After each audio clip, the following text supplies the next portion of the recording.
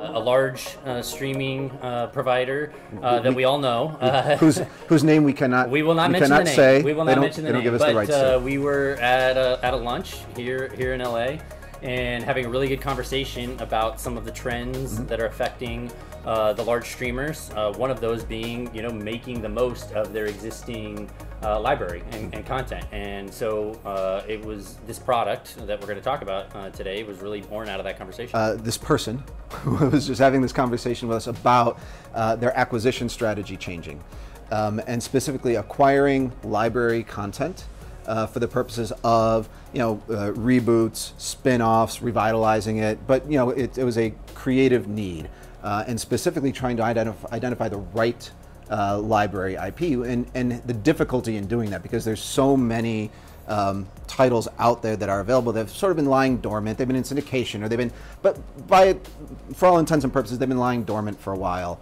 Um, and so it's targeting the right ones, but trying to identify and prioritize among them was the biggest pain point for this person. We have uh, access to this uh, this enormous community of content enthusiasts on, in our, our TV Time app uh, and platform.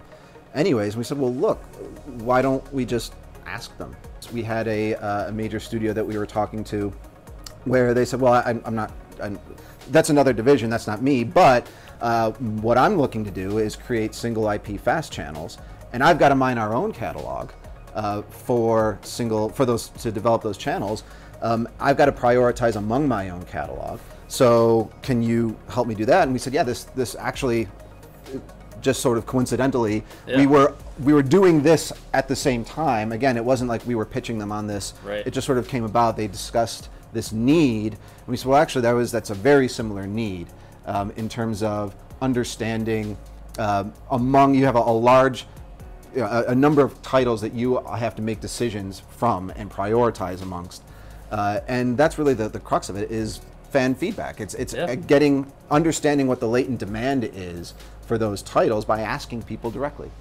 if you're programming a channel, you're thinking about, okay, if I put this channel and it shows up in the guide, is this going to catch someone's attention? Are they going to watch my channel in that moment?